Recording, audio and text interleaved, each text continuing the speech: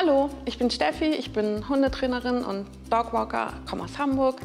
Ähm, in diesem Teil der Hundeschule geht es um den Arbeitsplatz, euren Arbeitsplatz, aber auch den Arbeitsplatz des Hundes.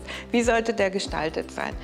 Ähm, ich finde es wichtig, dass der Hund ähm, ein bisschen rückwärtig sitzt, nicht in den Laufwegen, sodass er wirklich seinen Ruheplatz haben kann.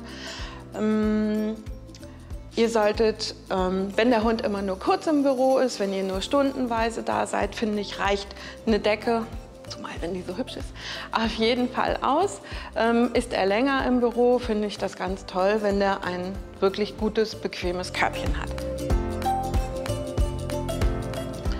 Ähm, ich mag an Hundebetten gerne, wenn die sehr äh, pflegeleicht sind. Das ist jetzt so ein Kunstlederbezug, den man ganz einfach ähm, abwischen kann. Den kann man auch entfernen und wechseln, falls der mal komplett kaputt ist.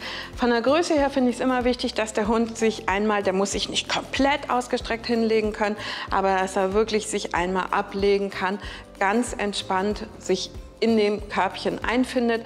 Ähm, viele Hunde mögen die Erhöhung am Rand, die mögen es nicht immer nur komplett flach, Darauf würde ich achten. Ich habe Hunde, die schon so ein bisschen Gelenkprobleme haben. Deshalb achte ich immer auf so ein, ein Bettchen mit Memory Foam.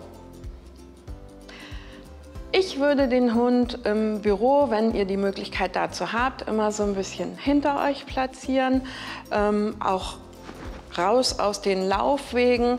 Ähm, auch so ein bisschen raus aus eurem Bewegungsradius. Denn wenn ihr den direkt unter den ähm, Schreibtisch packt, ihr streckt mal die Füße aus, ihr bewegt euch, das sind immer Signale, wo der Hund denkt, oh, geht's jetzt vielleicht los, geht's jetzt vielleicht los. Ähm, ich würde den wirklich irgendwo hinpacken, wo ihr euch frei bewegen könnt, auch mal aufstehen könnt, dem Hund sagen könnt, ähm, warte, ich gehe hier einfach nur mal rum, ähm, dass der wirklich seine ruhige Ecke hat, wenn ihr die Möglichkeit dazu habt im Büro. Weitere Tipps aus unserer Hundeschule findet ihr auf imtest.de.